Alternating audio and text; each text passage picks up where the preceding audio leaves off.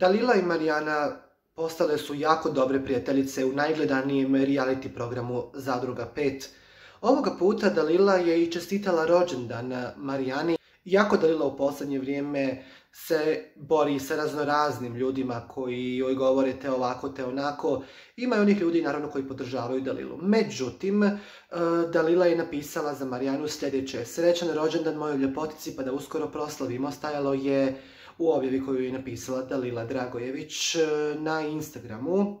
Jako je malo bilo ljudi koji su bili tu uz Dalilu kada je i najviše možda trebala neku podršku, a Marijana je bila jedna od njih koja je zaista bila uz Dalilu, pa je Dalila tako nakon reality programa Zadruga 5 javno se zahvalila Marijani koja je uvijek bila tu uz nju, a tako je i ostalo i nakon što su napustili reality zadruga. Marijana slavi rođendan, a Dalila ga je i čestitala i podijelila to na društvenoj mreži Instagram.